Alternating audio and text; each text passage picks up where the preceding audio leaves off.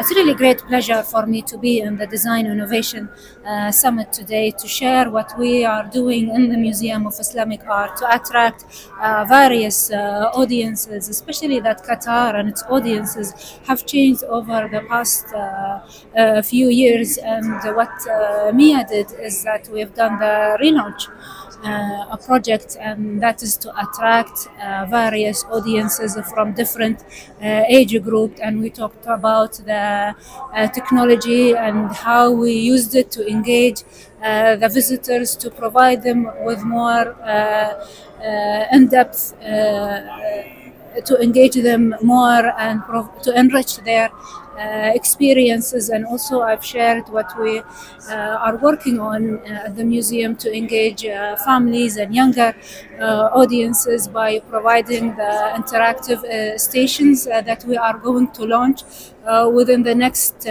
upcoming two two months. So. Um, like any museum, Msheireb Museums targets a wide range of audiences. Uh, some of our key audiences are uh, the younger people and, and, and, and school school age children, and so we do have dedicated education team for that.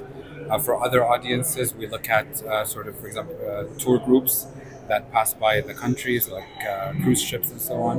And that's primarily we look at how we can facilitate sort of quick tours throughout the museum.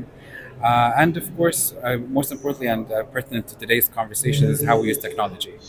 Um, through our mobile app, we uh, give uh, we have the opportunity for eight languages uh, to reach as many people as possible, which is so important for narrative-based museums and uh, museums that tell stories.